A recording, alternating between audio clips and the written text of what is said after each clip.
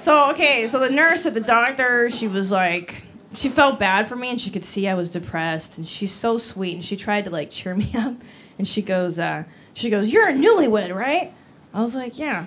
She goes, "Ah, it just means you're happy." right, and in my head, I was like, "Oh, I knew I could blame that son of a bitch for this."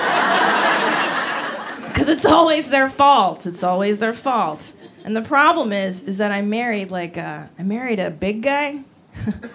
I know, don't look so disgusted. Like not like husky, like you know, like bear, like not not so fat that he beats you in a wet T-shirt contest.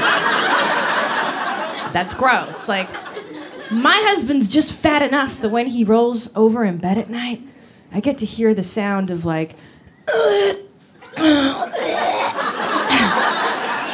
Mm, ah, the sound of sweet sleep apnea. I love it. Ooh wee. But I'll tell you honestly, because there's only like a million people here tonight, I'll tell you. I, I honestly I have a thing for for fat guys. It's like my thing. It's I know it's. I'll tell you the first sexual dream I ever had was about John Goodman. Don't you judge me! Don't you judge! How dare you? Some of you are probably here on a Craigslist casual encounter, so don't judge.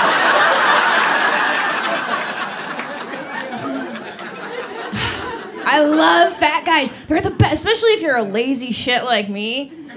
Dude, fat guys are the best because a fat guy is never gonna call you and ask you to do things like hiking or rollerblading. Like, nah, let's just hike on down to Cinnabon and get a baker's dozen of those bitches. And just eat the middles out with like a two liter of Mountain Dew. Let's do that. It's great.